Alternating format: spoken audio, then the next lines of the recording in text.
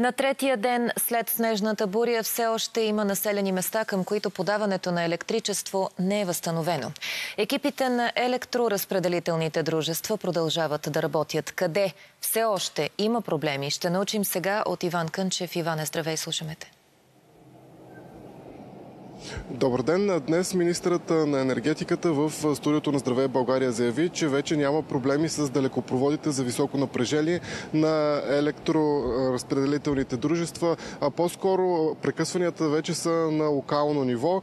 Все още има малки населени места и вилни зони, към които електричество не се подава. Проблем за това все още остават неразчистени пътища и трудно достъпни места, където жиците са се скъсали. Иначе, да, все още има училища и детски градини, към които а, токът а, не достига, но още за това ви разказвам в репортажа.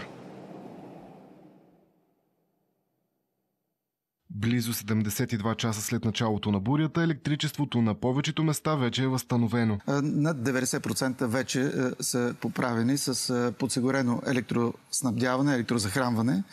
Да, останаха редица по-малки населени места, по които се работи. Иван Йончев е принуден да изпрати съпругата и децата си да спят в другия край на Ботевград. Причината е, че в дома им температурата почти се е изравнила с външната. Може би около 5-6 градуса. То не е отоплявано от 4 дена, 5 вече. Електричеството е спряло още в събота. Четвърти ден от събота сутринта нямаме ток, обаждаме се. Аз вчера съм се обадил лично три пъти съм се обадил на енергото и въобще не ми дигат.